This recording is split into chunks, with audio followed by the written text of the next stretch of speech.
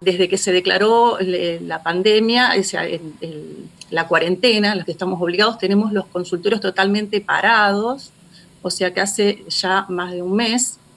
Y la realidad es que no tenemos todavía una respuesta concreta para seguir atendiendo a nuestros pacientes.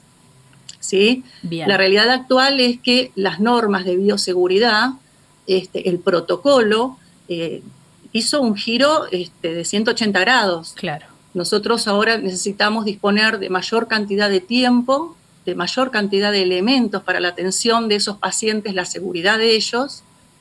Y al día de la fecha, las eh, obras sociales, prepagas, no han llegado a un acuerdo con nuestro círculo, con lo cual nosotros este, no solo no tenemos ingresos, no tenemos una eh, perspectiva de cuándo vamos a poder atender esos pacientes y en qué condiciones.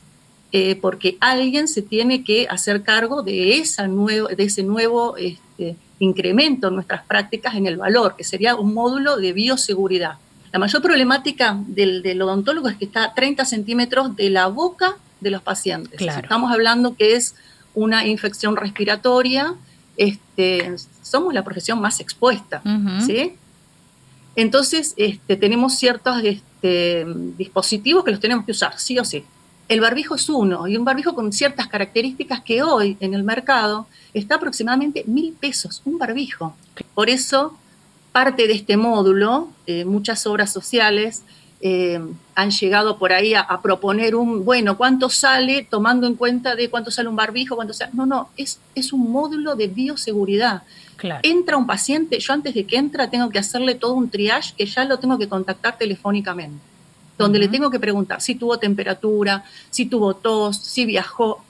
A eso tengo que citarlo a mi, consultorio solo. O sea, una sala de espera en exclusividad para ese paciente.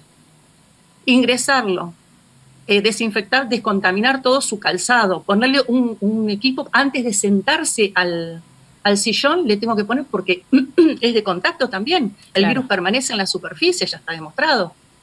Entonces, todo ese protocolo con todos esos camisolines, esos campos descartables que tenemos que usar tanto el paciente como los profesionales, es un gasto que se anexa a las prácticas nuestras. La realidad es que eh, si yo tengo que atender una urgencia hoy, sí se lo tengo que cobrar al paciente o a quien sea, que lo, lo, ideal es que lo absorban las obras sociales, porque la realidad es que es seguridad. Yo no puedo negociar eso, no puedo atenderlo de otra forma al paciente.